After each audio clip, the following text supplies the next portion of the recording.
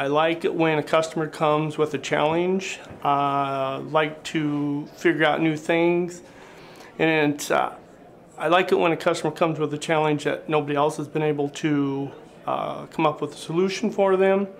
Um, I just I just love technology.